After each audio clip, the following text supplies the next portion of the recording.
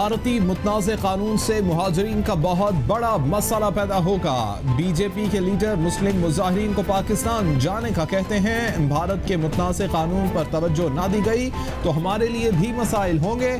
وزیر اعظم کا مہاجرین کی عالمی کانفرنس سے خطاب۔ بولے، یہ وہ بھارت نہیں جسے میں جانتا تھا۔ افغانستان کے عوام امن کے مستحق ہیں۔ سیاسی رہنماؤں نے ووٹوں کے لیے لوگوں کو تقسیم کیا۔ پاکستان نے پچاس لاکھ مہاجرین کو پناہ دی۔ مسائل کے باوجود مہاجرین کو سہولیات مہیا کی افغانستان میں امن اور مسائل کا حل ناگزیر ہے۔ کوئی بھی اس مسئلے سے اکیلے نہیں لڑ سکتا۔ وزیر خارجہ شاہ محمود قریشی کا پاکستان میں افغان مہاجرین کے حوالے سے عالمی کانفرنس سے خطاب۔ بولے، پاکستان اور افغانستان کا تعلق مشترکہ مذہب ثقافت پر قائم ہے۔ ہر مہاجر کی اس کانفرنس سے امیدیں وابستہ ہیں۔ پاکستان اور ایران مہاجرین کو پناہ دینے والے دنیا کے بڑے ممالک ہیں۔ پاکستان کی فراخ دلی دہائیوں پر محیط ہے۔ پاکستان نے افغان مہاجرین کے لیے دروازے کھلے رکھے۔ سیکرٹری جنرل اقوام متحدہ انٹونیو گوتریس کا کانفرنس سے خطاب۔ بولے، پاکستان کی خدمات کے اعتراف میں عالمی تعاون بہت کم ہے۔ عالمی برادری کو آگے آنا چاہیے۔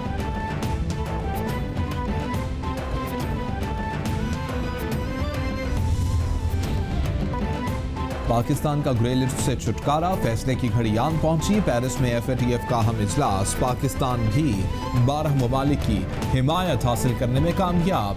اجلاس میں پاکستان کو گرے لسٹ سے نکالنے کے حوالے سے فیصلہ ہونے کا امکان۔ ایف اے ٹی ایف نے پاکستان کو جون دو ہزار اٹھارہ میں گرے لسٹ میں ڈالا تھا۔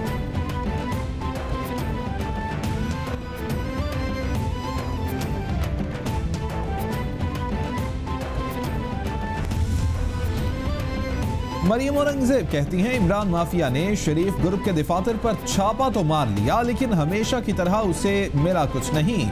عمران مافیا یہ بتائے کہ اب جہانگیر ترین اور خسرو بختیار کے دفاتر اور ملوں پر کب چھاپا مارا جائے گا؟ عوام کی روٹی، چینی اور آٹا کہاں ہے؟ پتہ چل جائے گا۔ تیرہ ہزار ارب روپے کا قرضہ کہاں جا رہا ہے؟ پتہ چل جائے گا۔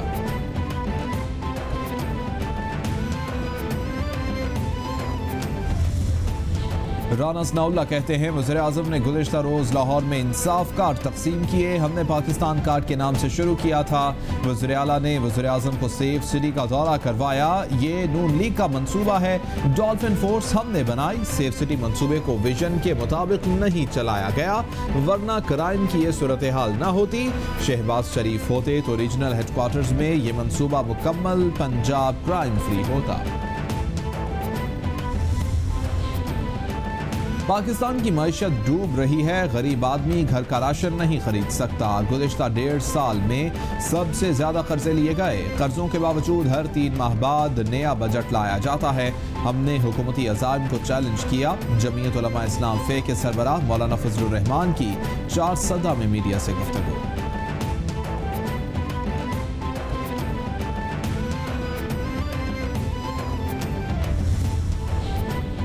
پینشن یافتگان کی مدد کے لیے مثبت اقدام ای او بی آئی کو بھی ڈیجیٹلائز کر دیا گیا۔ تمام معلومات مکمل فہرست کے ساتھ ویب سائٹ پر اپلوڈ۔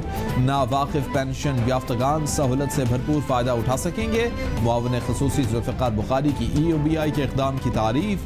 کہتے ہیں، پچھلی حکومتوں نے عوام کی رقم لوٹنے والوں کی تقرریاں کر کے ادارہ تباہ کیا۔ ہم مدد کر رہے ہیں۔ وزیر اعلیٰ سندھ مراد علی شاہ کی ٹیم کے چار ممبران کا مستعفی ہونے کا فیصلہ۔ صوبائی وزیر سردار علی شاہ، نواب تیمور تالپور، معاون خاص کھٹو مل جیون اور پونجو مل بھیل۔ ضلع کونسل عمر کوٹ کے چیئرمین سید نور علی شاہ عہدہ چھوڑ دیں گے۔ پی ایس باون عمر کوٹ پر ضمنی الیکشن کی انتخابی مہم چلائیں گے۔ حلقے سے پیپلز پارٹی کی طرف سے امیر علی شاہ متوقع امیدوار ہیں۔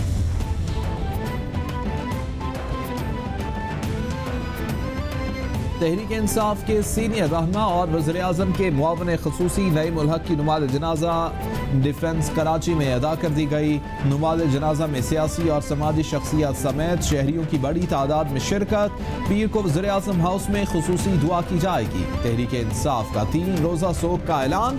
تمام سیاسی سرگرمیاں معطل۔ کینسر کے مرض میں مبتلا نعیم الحق گزشتہ رات کراچی میں انتقال کر گئے تھے۔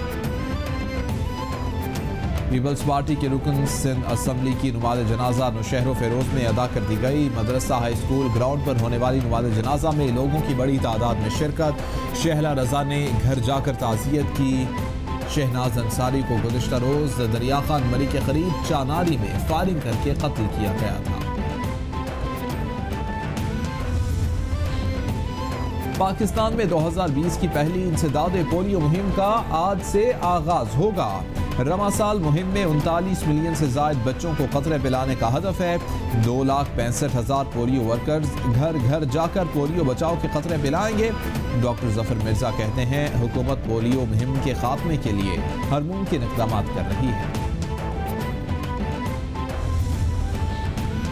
علی پور میں ظلم کے انتہا، زمین کے تنازع پر چھ افراد کا خاتون اور اس کے بیٹے پر تشدد، قبضہ مافیا خاتون کے دس ملے کے پلاٹ پر قبضہ کرنے کے لیے آیا تھا۔ خاتون اور بچے کے منع کرنے پر سریعام تشدد کیا گیا۔ خاتون کا تشدد سے بازو ٹوٹ گیا۔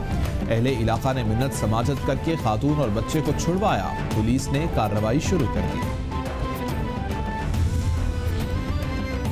مقبوضہ کشمیر میں بھارتی مظالم جاری کرفیو اور لاک ڈاؤن کو ایک سو ستانوے روز مکمل مسلسل فوجی لاک ڈاؤن سے نظام زندگی معطل کشمیری گھروں میں محصور رہنے پر مجبور، سڑکیں سنسان مقبوض آبادی میں دکانیں، کاروبار اور تعلیمی مراکز بند، ادویات کی کمی سے مریض جان سے جانے لگے۔ سید علی گیلانی صاحب کی صحت کے لیے دعا کو ہماری دعا ہے کہ اللہ تعالیٰ آپ کو تعدیر سلامت رکھے آپ کا وجود کشمیریوں کے لیے باعث حوصلہ ہے۔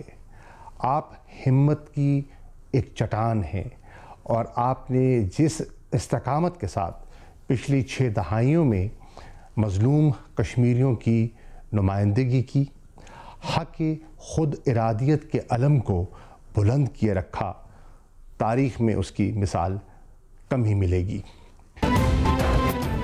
وزیر خارجہ شاہ محمود قریشی کا حریت رہنما سید علی گیلانی کی صحت کے بارے میں ویڈیو پیغام، بولے آپ کی صحت کے لیے دعا گو ہوں آپ کا وجود کشمیریوں کے لیے باعث حوصلہ ہے، جس طرح حق خود ارادیت کے علم کو بلند کیے رکھا دنیا میں اس کی مثال نہیں ملتی۔ پاکستانی اور کشمیری آپ کی صحت کے لیے دعا گو ہیں۔